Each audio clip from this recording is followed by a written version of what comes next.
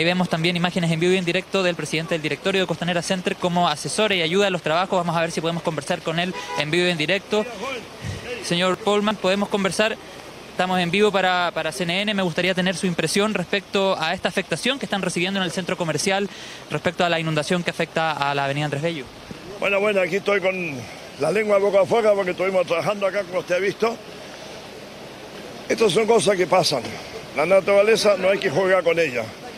Aquí aparentemente se hizo un desvío. En Perezukovic el Mapocho está vacío y el Mapocho está acá. Entonces, ¿qué pasó con el desvío que hicieron? Tiraron todo el agua a Andrés Bello. ¿Hasta qué nivel precisamente del estacionamiento está inundado el Costanera? Tenemos cinco estacionamientos, pero entra agua para que le digo. Y lo malo es que se inundó la planta eléctrica que da servicio de agua potable a todo el mall.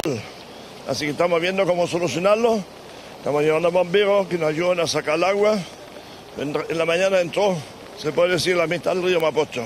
¿El mall está abierto completamente en este minuto? No, el mall está cerrado en este momento. Y René, René, ¿a qué hora cree usted que vamos a abrir el mall? No antes de las 3 de la tarde. ¿eh? Exactamente, don José. Perfecto. Así que las 3 de la tarde por confirmar.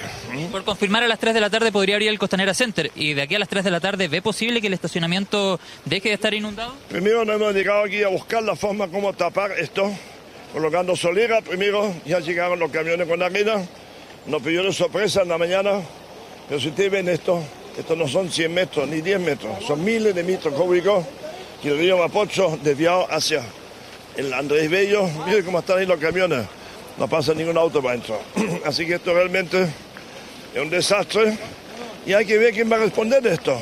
Porque la rotonda Perezukovic no lo hizo Costanera Center. No tiene nada que ver con eso.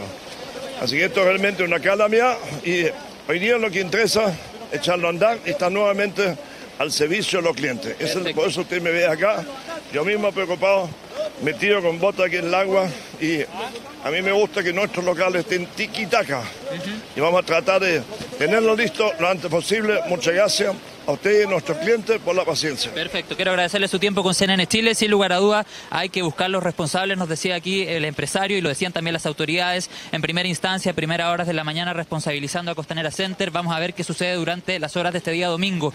Lo decía también el presidente del directorio de Costanera Center. eh, a eso de las 3 de la tarde debería abrir sus puertas el centro comercial, pero todo depende si es que efectivamente se logra, se logra sacar todo el agua que está hasta el nivel menos 5, confirmaba recién el presidente del directorio de Costanera Center en los estacionamientos. Vamos a ver qué pasa de aquí a las 15 horas.